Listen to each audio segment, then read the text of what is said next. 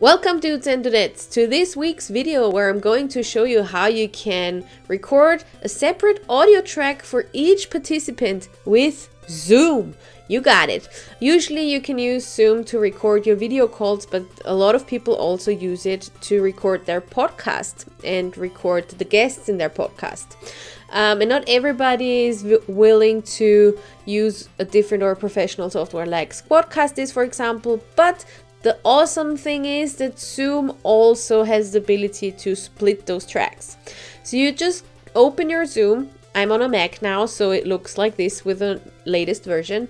And then you click on zoom.us at the top here and you will see preferences. I reckon on a PC it's on a PC it's pretty similar. So just find your preferences um, and click on that one. And here in the settings, you will find the sub menu that's called recording and that's where you want to click. And then you see not only can you change the, the path where your files are stored, but also you can, if you see the second checkbox here, it says record a separate audio file for each participant.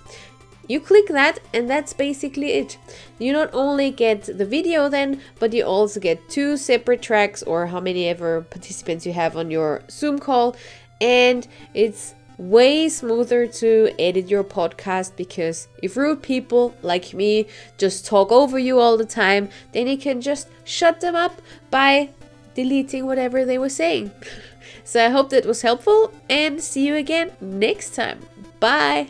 That's it for today. So if you've liked this video and it was helpful at all, give me a thumbs up or give me a few comments below. Or you can subscribe to my channel, but I'm not sure where it is. So maybe it's a red button, has a bell on it. So click the bell and follow my channel. Thanks for watching and see you soon. Bye!